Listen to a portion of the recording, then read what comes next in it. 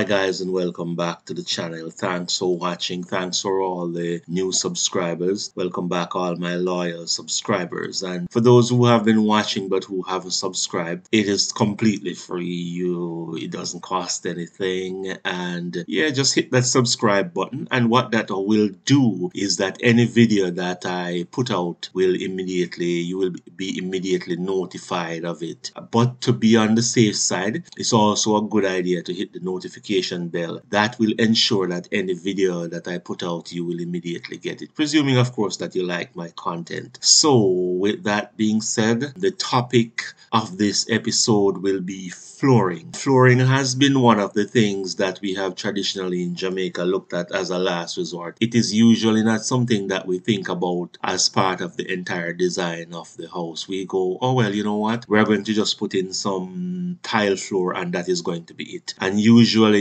it's the last thing we think about. So having done the, the whole house, then we go out and we start think about flooring. And uh, if you're going to be building a nice house, your floor should be one of the design elements that you consider along with all the other design elements. And that is what we are going to talk about today. Now, the fact of the matter is that there are many different types of flooring. And within each type of flooring, there are many, many variations. And even in those variations, there are different styles and qualities and so on. The type of flooring that you put in should be dependent on what that particular section of the house is going to be used for. For example, your kitchen and your bathroom should have flooring that can be easily cleaned that will withstand lots of water, chemical stuff, food, all sort of things are going to be spilled on your kitchen floor. And uh, it needs also to be slip resistant. Your bathroom floor will also need to be slip resistant and essentially waterproof. You do not want water soaking into your floor because of it is inevitable that your bathroom floor will always be wet. Bedrooms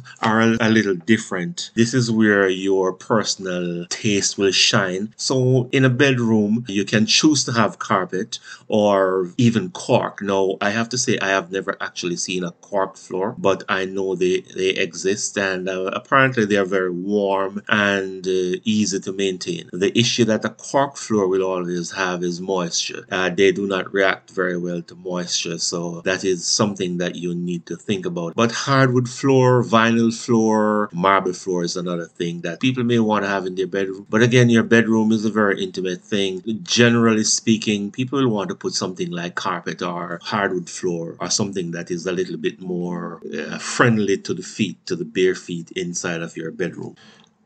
Of course, your living room is another high traffic area, but it is also generally the centerpiece of your house. It is where everybody who comes to visit, it's what they will see. It's the first thing they walk into your living room. So you want to have something that is nice, also something that is hard wearing. And uh, generally, ceramic or porcelain tiles are the best option for a living room. And these come in a wide variety of styles and colors and quality. It depends on your personal taste. It also depends depends on the decor of the living room. And it also depends on the style because you may have an open concept living, dining, kitchen, at which point you will have to consider the totality of what you are going to put into those three combined living spaces. In that case, porcelain or tile is usually the best bet. They are hard wearing. Porcelain, especially, is extremely hard wearing. Glazed porcelain, those are the best options. Of course, hardwood is one of the most widely used flooring in a living room setting because of its versatility and the absolute beauty of having your entranceway into your house being made of beautiful wood, whether it be cedar or oak or inlaid wood or with an inlaid medallion or any myriad of styles and patterns. As mentioned before, the main flooring that is used in Jamaica is tiles ceramic, and porcelain tile. Now, there is a slight difference between porcelain and ceramic. Porcelain is a harder wearing tile. It is made from the same material as your normal ceramic, glazed ceramic, but it is fired at a much higher temperature and therefore it is a harder wearing material and is usually applicable to commercial purposes. Now, many people do use them for residential purposes and there is nothing wrong with that that.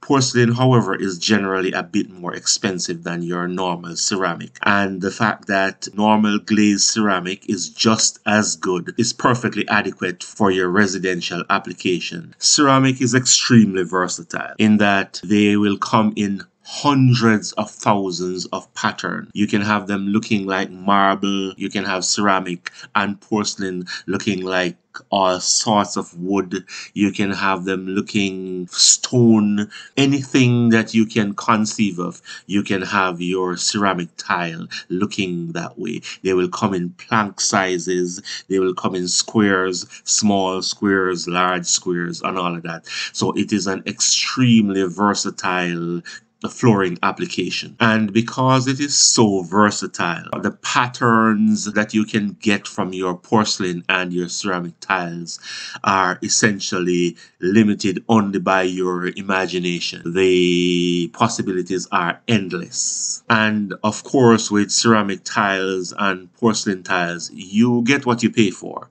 They are extremely expensive, high end, high quality, and there are lower end tiles. So that is not to say that some of the lower end tiles are not really, really great. They are great looking tiles. Again, the design, the application is limited only by your imagination. So you can take really, really low end tiles and uh, put them together in a pattern that is extremely pleasing and will have a, have an extremely high aesthetic value. And in terms of our application in Jamaica, the bottom line is that tiles are the most cost effective option that you are going to have in flooring. And that is the reason they are so popular. Of course, there are other types of tiles other than ceramic tiles and those would include linoleum tiles, which is the sort of thing we call peel and stick. There is vinyl laminate tiles. There are also wood tiles. There are stone tiles, and there are also granite tiles. Now, wood flooring has sort of gone out of favor in Jamaica because traditionally wood flooring was looked at as the only option for people who were less well to do. Unfortunately, unfortunately. And uh, the moment tile flooring became an option, or what was known as terrazzo flooring became an option, people jumped on that. Now, there is actually a really good reason for that. Terrazzo floor is easy to install, and the wood flooring options that were available at the time were limited to what could be sourced locally, and they simply did not compare to the tile options that had recently become available. And so people people gravitated more toward the tile option and simply discarded and or forgot about the wood flooring. Now, a lot of older houses do still have these tiles in them, and people tend to rip them out and throw them away because over the years they do tend to become stained and they lose the shine and so on, and the surface become pitted and all that. But the fact is, they can be refinished. People just do not know this, and in any case, it really is not a cost effective option. It really makes no sense because the houses are old anyhow and many of them are ready to be torn down. Anyhow, we are going to talk about wood flooring. So there are three basic options in wood flooring. Firstly, you have what is called solid wood and solid wood can be had in planks of all different widths, lengths and uh, and styles. So for solid wood floor, you can have square tiles, planks, long boards, wide board. They can also come in what is known as rough hewn, which is, you know, sort of your rustic looking. It's not necessarily actually rustic, just rustic looking boards. And there is your parquet floor, which can come in pre-manufactured patterns and so on. Solid wood flooring can of course be quite expensive depending on the type of wood, the locking mechanism that is being used, the thickness of the wood, and a few other factors. Then you have have your engineered wood floor. Now, your engineered wood floor comes in two different distinct types. One is called particle board engineered wood flooring. Particle board is laminated with real wood. The real wood is only a few millimeters thick. That is then laminated onto particle board. The particle board is then cut into whatever desired shapes and length or style of flooring that you wish to use. And this provides the wood flooring that looks exactly like solid wood. There is no way to tell the difference between that and your solid wood. The real difference is in the cost. The laminated particle board is much more cost effective. It's not as durable in terms of um, water resistance because of course it is particle board. So it is susceptible to expansion, massive expansion in fact, if it is soaked with water. But apart from that issue, it is a very cost effective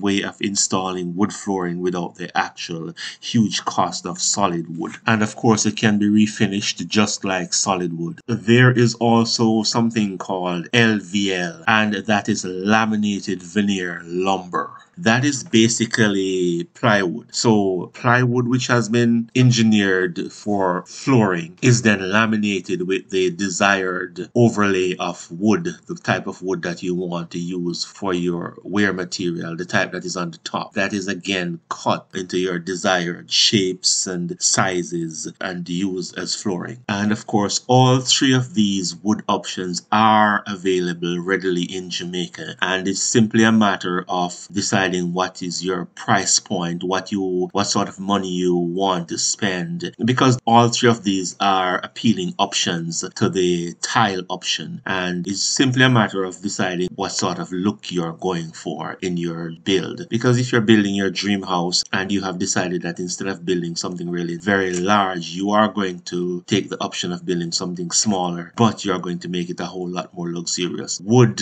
and wood laminates are an appealing appealing option. Now, the next evolution in flooring is something called laminate flooring. And usually when we say laminate flooring, what we are referring to is um, vinyl laminate flooring. Vinyl laminate flooring generally consists of a number of different functional parts that are laminated together to form the entirety of the floor. That is then formed into the required dimensions for that particular flooring. So your laminate floor usually consists of something called a, a wear layer. And that wear layer is that hard plastic and that is on the very top. That is the part that you walk on, where your heels dig into. Below that is the picture of whatever pattern that you are going to use for that particular flooring. The pattern is usually something like wood. This pattern can imitate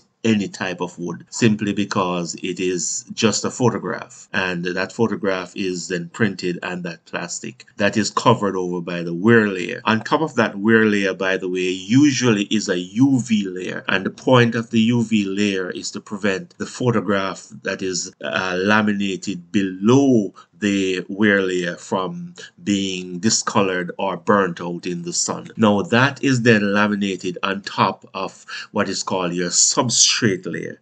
Now the substrate layer is uh, the main layer. That is usually the thickest layer in this whole lamination process. And that substrate layer usually contains the locking mechanism as well. And under that the very last layer at the very bottom is usually called the backing layer. Now the backing layer is usually waterproof or water resistant or water absorbent and it's usually quite soft as well. So that provides a little bit of a give so you have your backing layer, your substrate layer, your pattern layer, your wear layer, and your UV resistant layer. I should also mention that in the case of laminated particle board, this works in precisely the same way, except that where you would normally have what is called your pattern layer, this is substituted with real wood. So in your pattern layer, generally where you'd have your photograph printed onto a piece of plastic, which is then laminated onto your substrate layer, that that is substituted with real wood and that's the only difference between vinyl laminate and particle board laminate. Now laminate flooring is becoming quite popular in Jamaica because the price point is usually very reasonable. You can get extremely cheap vinyl laminate flooring and uh, in fact they can be made to look exactly like real wood. One would be hard pressed to determine the difference when it is properly installed. It is also extremely versatile so it it is becoming a viable option in Jamaica.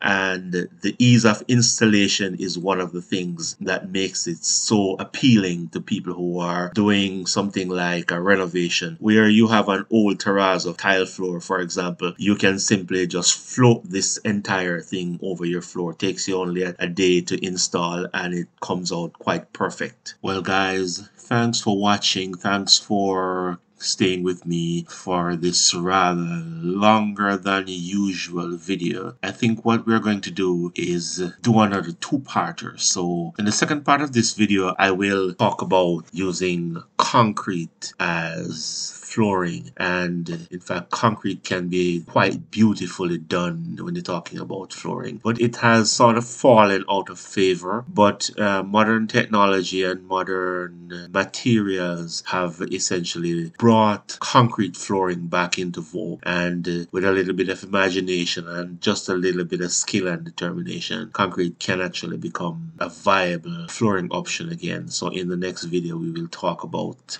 concrete as flooring so once more, thanks for watching. Don't forget to like, subscribe, and share the videos. Many people are watching and a lot of people have not subscribed. So don't be afraid to hit the subscription button and hit the notification bell as well. And look, if you watch the video and you like it, just hit the thumbs up button. You know that it just helps out the video. YouTube is a strange animal and they like when you show that you like the video. So hit the, the like like button and you know that will help me out a lot. So again thanks for watching and you all have a good day